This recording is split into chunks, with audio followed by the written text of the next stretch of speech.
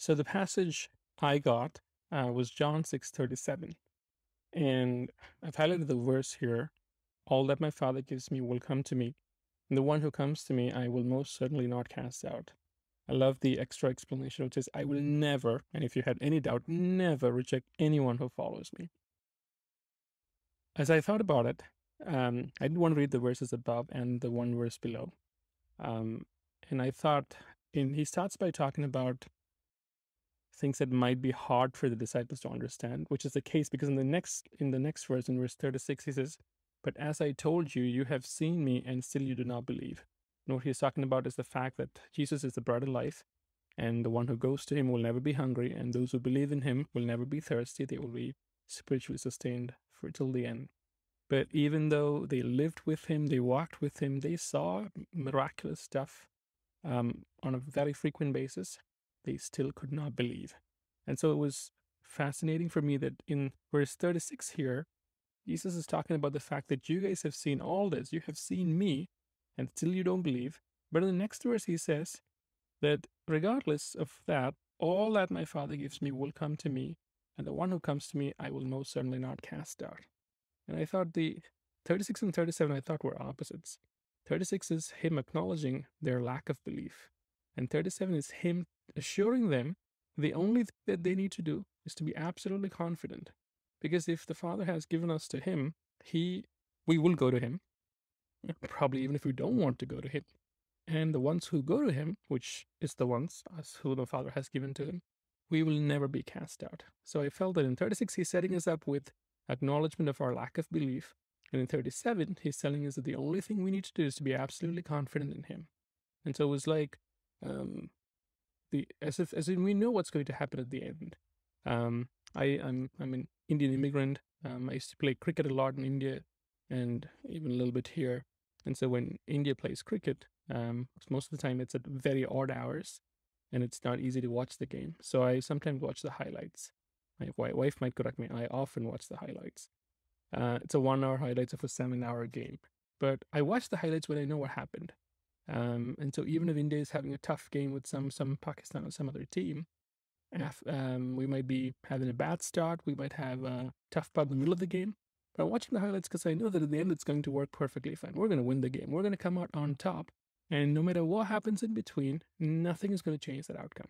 I feel that's the kind of confidence that he's telling us to have in 37. That no matter what happens in between, we might, I mean, we're going to through the most stressful time in a whole century. We've lost, I think, 850,000 lives as of Jan 7 um, in the US alone. 60 million odd cases or something. I mean, I, I don't want to appear to take it lightly. Um, there hasn't been a time like this. We don't know what the future looks like. But he's saying no matter what happens, all that the Father has given to him will come to him. And all we need to do is to go to him because we will never be cast out and we will never be rejected. And I love the next line because it says, this verse, which I think is like his his autobiography, right? Um, I've come down from heaven to do one thing, and that's not even the thing I want to do. Like I want to do my will if I'm here on earth, but I'm going to set that aside to do His will. And I felt very challenged. Like if we're absolutely confident, um, we know the we know the result of the game. We are can confidently watch the highlights, no matter how much stress we're going through, and all we need to do is to believe. Which again, must acknowledge is very very hard uh, it's not going to happen without him.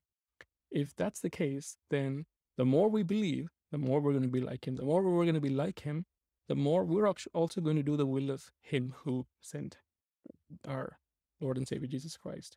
But when I thought about how I even pray, if I do pray, Our Father in heaven, hallowed be thy name, your kingdom come, your will be done on earth as it is in heaven, I think in heaven, the Father's will is being done absolutely well. Nobody is standing in the way. All the angels are in complete compliance. But on earth, I say, May will be done on earth as it is in heaven.